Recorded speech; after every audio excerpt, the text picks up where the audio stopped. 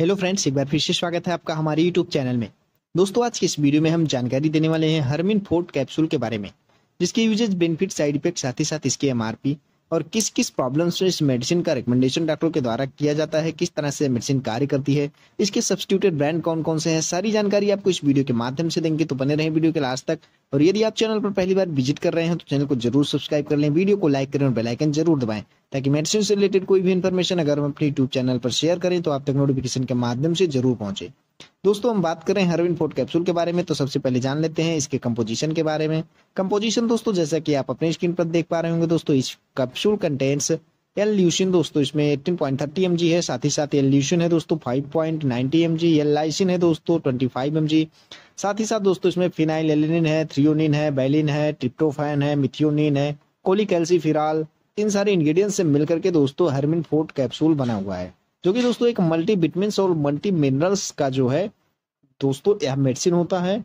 इसमें कई सारे एसेंशियल अमाइनो एसिड और विटामिन मिले हुए हैं, जो कि आप अपने स्क्रीन पर देखे हैं।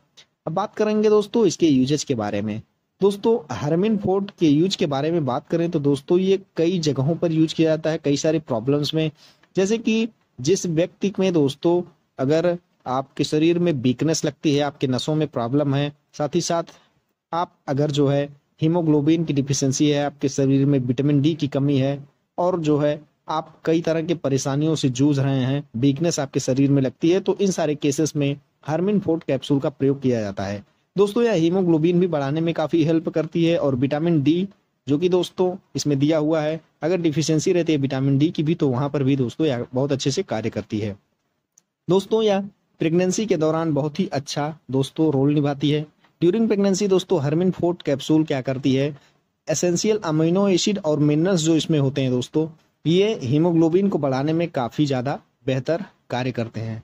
प्रेगनेंसी के दौरान यदि किसी महिला का हीमोग्लोबिन दोस्तों बहुत ज़्यादा कम हो जाता है तो उस दौरान हरमिन फोर्ट कैप्सूल को किसी भी आयरन टैबलेट के साथ में अगर पेशेंट 15 से 20 दिन तक खा लेता है वन कैप्सूल बीडी के डोज के साथ में एक आयरन का टैबलेट अगर खा लेती है कोई महिला प्रेगनेंसी के दौरान ये जिसका हीमोग्लोबिन कम है तो यह दोस्तों, कम से कम तीन ग्राम के आसपास जो है, हीमोग्लोबिन बढ़ाने में हेल्प करता है। साथ ही साथ दोस्तों प्रेगनेंसी के दौरान इसे लेने से जो शिशु गर्भ में पल रहा होता है, उसमें भी एनीमिया की प्रॉब्लम नहीं होती है। यानी कि जो बच्चा रहता है पेट में, दोस्तों, उसको भी सही तरीके से न्यूट्रिशंस मिलते हैं और हीमोग्लोबिन वगैरह की डिफिशेंसी नहीं होती है। साथ ही साथ दोस्तों पोस्ट ऑपरेटिव कंडीशन में भी हर्मिन फोर्ट कैप्सूल को डॉक्टरों के द्वारा रिकमेंड किया जाता है।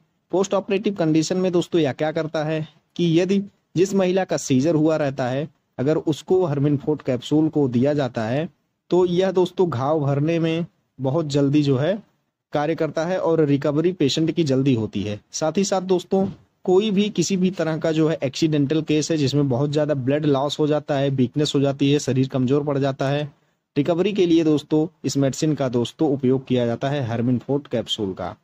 तो हरमिन फोर्ट कैप्सूल जो है कई जगहों पर कार्य करता है दोस्तों। तो आप इसे बेझिझक ले सकते हैं। इसका जो डोज होता है वन कैप्सूल बीडी होता है। इसकी एमआरपी दोस्तों, यानी कीमत इसकी एक सौ का एक स्टिप आता है, जिसमें कि दस कैप्सूल्स पाए जाते हैं।